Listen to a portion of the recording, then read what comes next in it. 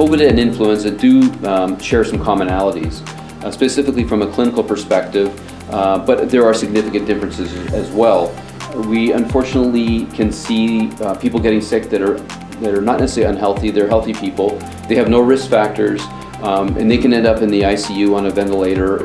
No one can predict who will or could get this, what they call cytokine inflammatory pathway, where someone goes from basically being well at home, contracting COVID, and getting rapidly, abruptly very sick in hospital.